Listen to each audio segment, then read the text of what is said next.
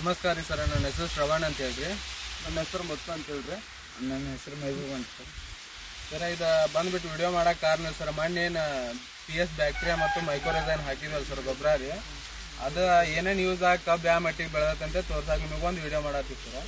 ಈಗ ಕಬ್ಬು ನೋಡಿರಿ ಸರ್ ಮಣ್ಣು ಪಿ ಎಸ್ ಬ್ಯಾಕ್ಟೀರಿಯಾ ಮತ್ತು ಮೈಕ್ರೋರೈಸನ್ ಹಾಕಿರ್ತಾರೆ. ಸರ್ ಅವತ್ತು ಕಬ್ಬು ಹೆಂಗಿತ್ತು ಸರ್ ಭಾಳ ಸಣ್ಣ ಇತ್ತು ರೀ ಇವತ್ತು ನೋಡ್ರಿ ಸರ್ ಒಂದ ವಾರ ಈ ಮಟ್ಟಿಗೆ ದಪ್ಪ ಆಗೈತೆ ಸರ್. ಮತ್ತು ಕಬ್ಬನು ಉದ್ದು ಭಾಳ ಆಗೈತೆ ಸರ್. ಕಿತ್ತ ಸರ್. ಮಣ್ಣು ಒಂದು ಚೋಟ್ ಇತ್ತು ಸರ್. ಈಗ ಒಂದು ಏನೊಂದು ಮಠ ಬಂದ ಸರ್.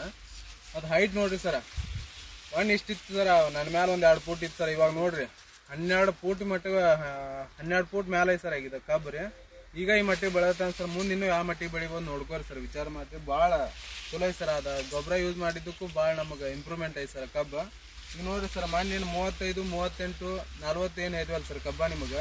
ಅದ್ರ ಮ್ಯಾಲ ಸರ್ ಇವ ಮರಿ ಏನದ ಸರ್, ಹತ್ತು, ಹದಿನೈದು ಮರಿ ಅದ ಸರ್ ಒಂದು ಕುಣಿಗ್ರಿ. ಬರ್ರಿ ನೋಡ್ಕೋಬಾರಿ ಸರ್, ಎಷ್ಟು ಅದಾವ ಅಂತ ಹೇಳಿ. ಒಂದು, ಎರಡು, ಮೂರು, ನಾಲ್ಕು, ಐದು, ಆರು, ಏಳು, ಎಂಟು, ಒಂಬತ್ತು, ಹತ್ತು, ಹನ್ನೊಂದು, ಹನ್ನೆರಡು, ಹದಿಮೂರು, ಹದಿನಾಲ್ಕು, ಹದಿನೈದು, ಹದಿನಾರು ಮರಿ ಅದ ಸರ್ ಇದ್ರಾಗ. ಆ ಗೊಬ್ಬರ ಏನು ಯೂಸ್ ಮಾಡ್ಯಾವಲ್ಲ ಸರ್, ಅದರ ಪ್ರಭಾವ ಸರ್ ಇದು. ಭಾಳ ಚಲೋ ಆಗೈತೆ ಸರ್.